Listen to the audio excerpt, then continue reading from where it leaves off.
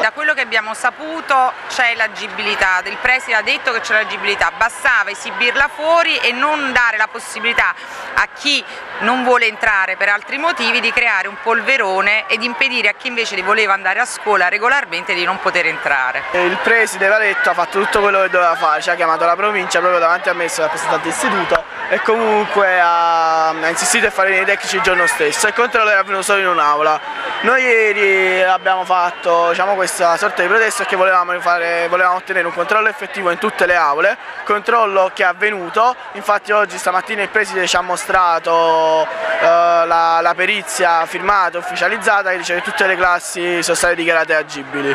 Quindi nel caso successe qualcosa sicuramente la colpa sarebbe del perito che ha messo la firma e non del preside di noi studenti. E noi non siamo nessuno diciamo, per contrastare l'opinione di un esperto, anche che la provincia, come sappiamo, è l'unico ente che può intervenire nell'edilizia pubblica. Eh, se c'è una perizia di agibilità dovrebbero entrare, se non c'è eh, fanno bene a non entrare. Lei da genitore cosa ha detto a suo figlio?